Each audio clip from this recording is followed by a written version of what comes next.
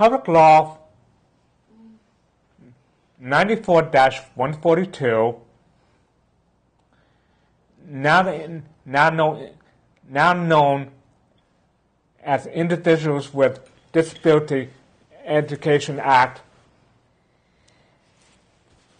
was faced massive resistance.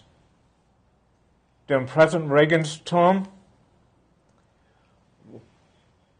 why, why that res- resistance given to thousands of letters in support of it? All right. First of all, I knew this law as the Education of All Handicapped Children, Education for All Handicapped Children Act. That was its original name.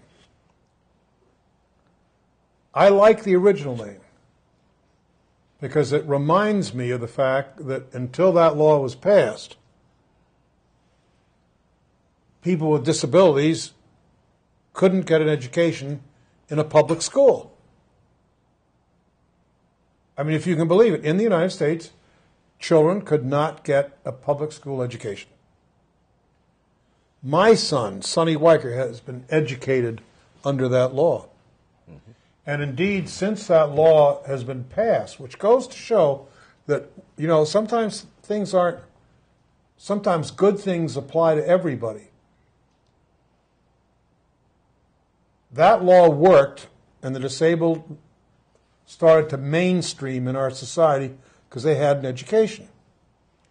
Because it worked, we passed another law called Birth to Three, which means that disabled, young disabled men and women were educated from the, literally from the time they were born. And we now know it used to be that the people said, well, education only counts for anybody when you're in your teens. We now know it counts the minute you're born. So uh, I just can't emphasize more strongly the importance of education for the disabled. And I can't emphasize more strongly the fact that when they start giving out the public school money, the public school systems, most of them, try to duck under the law and not give that education to disabled children. Um, uh, which brings me to the last point, which is everybody thinks that sort of warm and fuzzy thoughts about Ronald Reagan. I don't have any warm and fuzzy thoughts about Ronald Reagan. He tried to cut this program so that the education would not be available. And uh, uh, I think that uh, I thank God that even up to today, at least the law is on the books. Whether or not people are paying attention, that, that remains to be seen. John, maybe you'd have a comment. Here. Well, the only thing I'd add, Senator, is that in, in direct answer to your question, Tom, I don't think people here in Connecticut or around the country really knew what uh, then President Reagan had proposed, namely to repeal this law, do away with it, take it off the books, and to cut the funding way, way back. Uh, Senator Weicker and our staff did a lot of work to inform people, to let people like you know, to let, let people like Ed Preneta that runs the state DD council here in Connecticut know what was going on and that they should contact their elected officials and make sure they oppose what the then president was trying to do.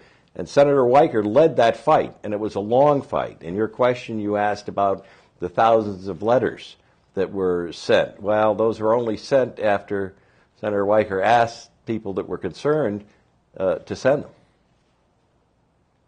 So, in other words, it seems like you guys didn't get any response back. Not initially. Positive response. Not initially. That's right. And uh, but it did come, and it came in the form of letters, came in the form of protests, uh, and finally, President Reagan and his education secretary backed down and they stopped trying to repeal the law and repeal the regulations and cut the funding. But it was a long fight.